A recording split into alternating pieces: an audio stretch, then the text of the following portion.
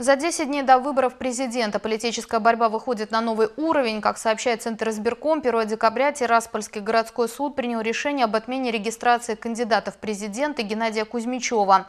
Основанием послужило обращение в суд гражданина Владимира Маймуста, который заявил о нарушении Геннадием Кузьмичевым правил предвыборной агитации.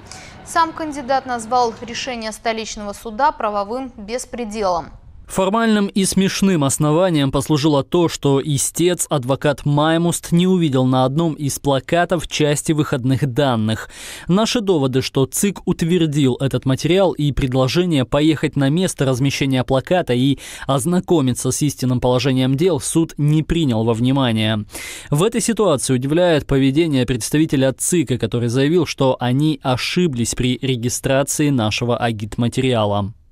Напомним, ранее ЦИК дважды выносил предупреждение кандидату в связи с нарушением правил проведения предвыборной агитации. Геннадий Кузьмичев заявил, что планирует в ближайшее время обжаловать решение суда в вышестоящей инстанции.